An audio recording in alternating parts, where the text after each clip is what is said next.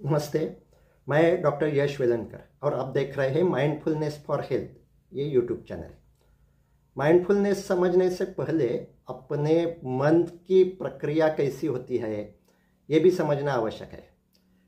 तो मन, भावना, बुद्धि, इस बारे में आपके मन में कोई भी सवाल है तो मैं एक व्हाट्सअप नंबर देता हूँ, वहाँ आप मैसेज करके वो सवाल पूछ सकते हैं।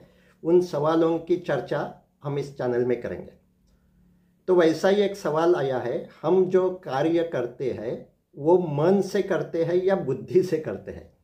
तो कोई भी कार्य करना चाहिए, ये डिसीज़न मन लेता है या बुद्धि लेती है? बहुत ही अच्छा सवाल है।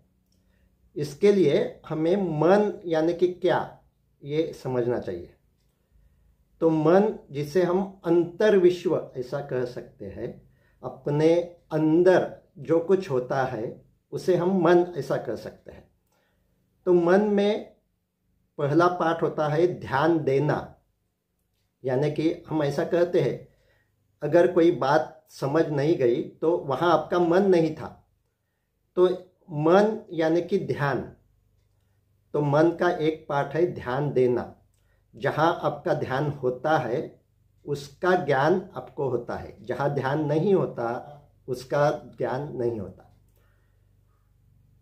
अब ध्यान देने के बाद आपको उसका आकलन होता है। यानी कि ये क्या हो रहा है? ये आवाज़ कौन सी है? ये सामने जो कुछ दिख रहा है उसका अर्थ क्या है? शरीर में जो कुछ हो रहा है उसका अर्थ क्या है? मैंने जो कुछ सुना उसका अर्थ क्या है? ये कौन करता है? इससे हम बुद्धि ऐसा कहते हैं। तो बुद्धि का अर्थ, इंटेलेक्ट का अर्थ ये जो इन्फॉर्मेशन हमें ध्यान देने के बाद मिलती है, उस पर प्रोसेसिंग होकर उसे एक मीनिंग दिया जाता है। उसका मतलब क्या है, वो जो कुछ समझती है, उसे हम बुद्धि कहते हैं। वैसे ही बुद्धि को ही डिसीज़न लेने की कैपेसिटी ऐसा भी कहा जाता है।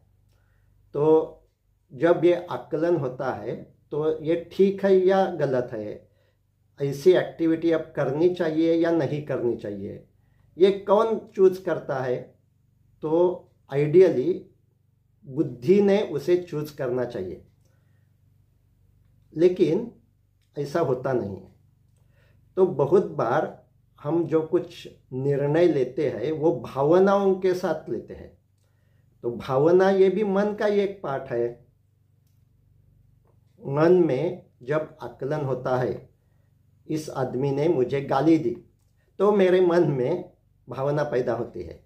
वो गुस्सा हो सकता है, दुख हो सकता है, डर हो सकता है। तो ये जो सब कुछ भाव है, जो विचार के कारण पैदा होते हैं तो भावना और विचार आकलन होने के बाद होते हैं। जब भी किसी ने मुझे गाली दी, और ये गाली है, ऐसा आकलन मुझे हुआ तो मन में विचार आती है। या ऐसा क्यों करता है? और इस विचार जो बार बार आती है तो एक ही तरह की विचार जब जब बार बार आती है, तब हम उसे भावना कहते हैं। अब ये भावना जब तीव्र होती है, यानी कि इंटेंस होती है तो बुद्धि को समय ही नहीं मिलता। क्या अच्छा है, क्या बुरा है, ये सोचने का। और ये भावना ही अपना डिसीज़न लेती है।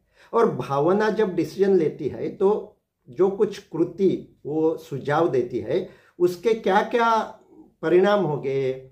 उसका कुछ विपरीत परिणाम हो गए क्या? ये सब भावना विचार नहीं कर सकती। क्योंकि भावना जब होती है, तब हमें दूसरे तरह के विचार ही नहीं आते।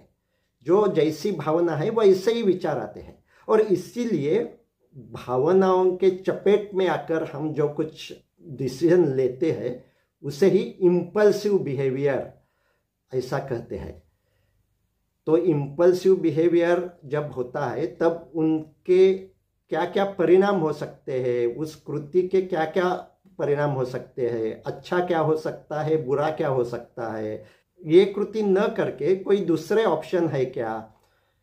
ये सब जो कुछ थिंकिंग प्रोसेस है, वो करने का टाइम ही अपने ब्रेन को नहीं मिलता है। और वो तुरंत ऑर्डर देता है और हम कृति करते हैं। तो जब हम ऐसी इम्पल्सिव कृति करते हैं तो कृति करने वाली भावना होती है।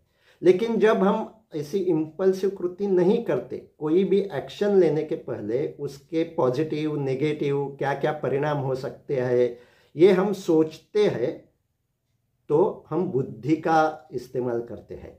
और ऐसा सोचने के बाद एक ऑप्शन हम चूज़ करते हैं, वही डिसीज़न लेते हैं। तो डिसीज़न लेना ये बुद्धि का कार्य है। और अगर अपना डिसीज़न ठीक होना चाहिए तो बुद्धि का यूज़ करना चाहिए। ठीक भावनाओं के चपेट में आकर डिसीज़न लेना ये कई समय गलत हो सकता है।